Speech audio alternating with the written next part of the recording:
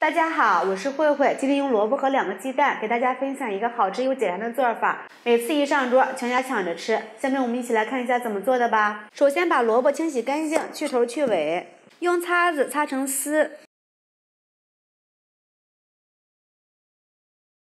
放入两克的食用盐，用手抓拌均匀。准备两百六十克的面粉。放入一克盐，增加筋性。倒入一百五十毫升的凉水和面，边倒边搅拌，搅拌成大的棉絮状。下手揉成面团儿，揉成一个软硬适中的光滑面团儿，把它放在案板上，先给它醒上五分钟。碗里打入两颗鸡蛋，用筷子搅散。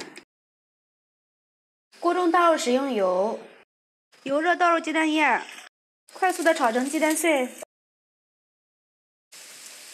最后炒成这种小的颗粒状就行了。盛出晾凉备用。这会面团已经醒好了，直接放到案板上揉光滑。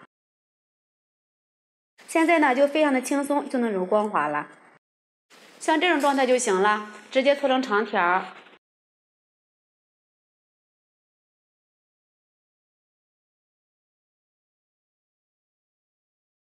下大小均匀的剂子，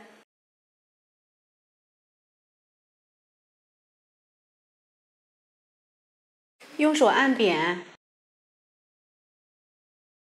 用擀面杖擀成中间厚边薄的面片儿，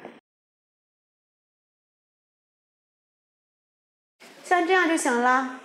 把每个面剂上面都刷上一层薄油，最后一张就不用刷了。每一个上面放上一点干面粉，这样能起到分层的作用。把它们都摞在一起，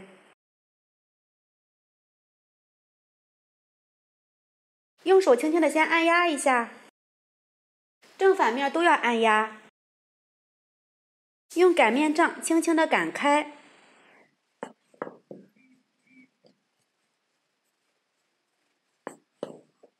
两面都要擀。这样才会更加均匀。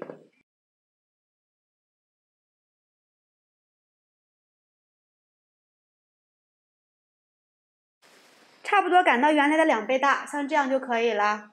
都做好之后，全部放在蒸屉里面，直接放到蒸锅上面，盖上盖子，水开之后蒸八分钟。锅中提前把水烧开，放入一把粉条煮熟。粉条煮熟，捞出控水。放入凉水里面，防止起坨。看一下这个萝卜已经凝出水分来了，我们把多余的水分给它攥出来，放到案板上，再稍微切碎一些，直接放入大碗里。粉条控干水分，切碎，和萝卜放在一起，放入炒好的鸡蛋，放入一把虾皮。这里再少放一点食用盐，来一点胡椒粉、蚝油，来一点香油增香。用筷子充分的搅拌均匀，我们的馅料就调好了。哇，闻着是非常的香，像这样就可以了。先放一边备用。我们的小饼也蒸好了，趁热给它揭下来。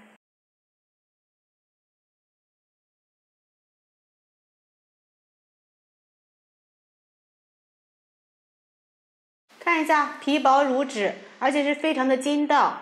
这个饼呢是熟的，这个时候就可以吃了，用它来卷菜也是非常的不错。看一下，一共做了这么多。取一张放在案板上，放入身上的馅料，对折，两边对折，这样子就行了。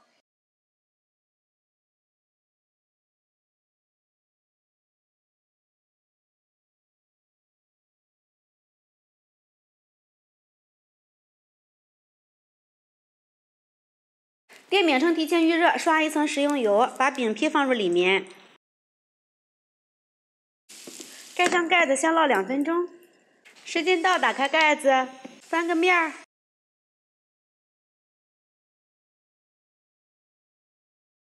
盖上盖子，再烙两分钟，再给它翻个面儿。看一下，烙这两面金黄就可以出锅了。因为这个饼非常的薄，特别容易熟。我们的萝卜鸡蛋馅饼就做好了，这样子做营养丰富，皮薄馅大，非常的酥脆好吃。